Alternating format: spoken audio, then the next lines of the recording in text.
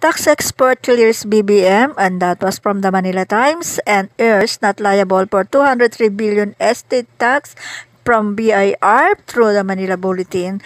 Yan ang ating pag-uusapan sa mga susunod na mga video.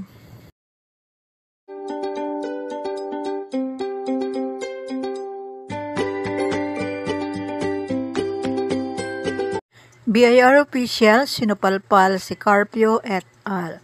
Tagapagmana ni Marcos, hindi pwedeng papanagutin sa 203 billion estate tax.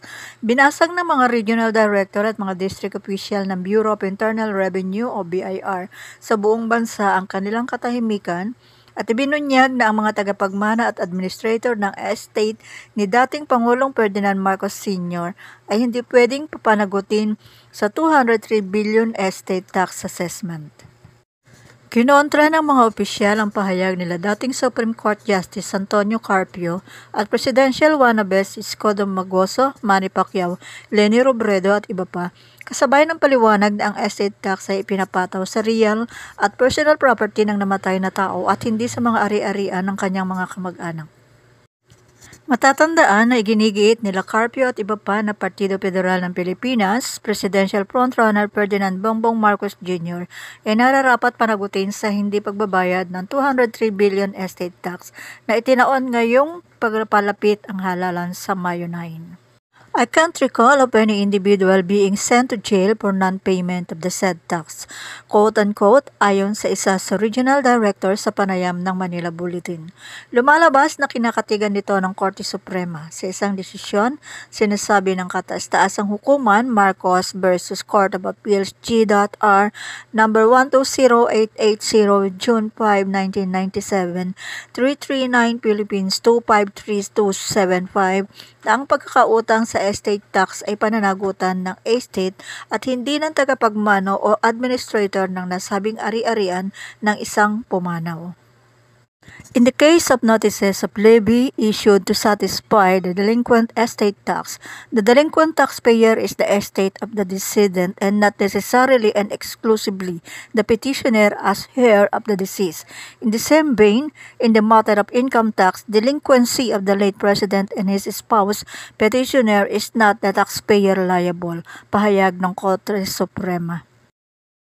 Samantala, pinaliwanag pa ng opisyal ng BIR na ang tamang gawin sa ilalim ng tax code at revenue regulations ay kumpiskahin at ibenta sa public auction ang mga ari-arian ng namatay para masettle ang pagkakautang nito kung meron man. That is what we have been doing for years since the death of the former strongman. But the problem, nobody was interested in buying them, quote-unquote, dagdag ng opisyal. Tila sinagot din ng mga opisyal ang mga batiko sa kanila na wala silang ginagawa ukol sa naturang issue. Idinagdag pa nila na noong namatay si Marcos noong 1989, inayos ng mga revenue examiner ang kanyang tax estate na umabot sa 23 billion pesos. Tumaas ang deficiency tax nito sa mahigit 203 billion peso dahil sa one-time 50% surcharge at 20% taon ng interest. It's not a coincidence that rivals of presidential frontrunner Bongbong Marcos are raising this matter in unison a few weeks before the election. Sadly, this is all about politics quote-unquote ayon sa isang opisyal. Kamakailan ay binatikos din ng kampo ni Marcos ang pagpapalabas ng naturang issue na bahagi pa rin ng maruming politika ng kanyang mga kalaban. Our rivals are misdirecting everyone by claiming that the case has attained finality when the truth of the matter is it is still pending in court and the ownership of the properties in litigation has yet to be settled. Quote-unquote ayon kay Atty. Vic Rodriguez, tagapagsalita at Chief of Staff ni Marcos. That being the case, the fair and just tax base to be used in computing the estate tax cannot yet be established with certainty, dagdag ni Rodriguez, quote, unquote.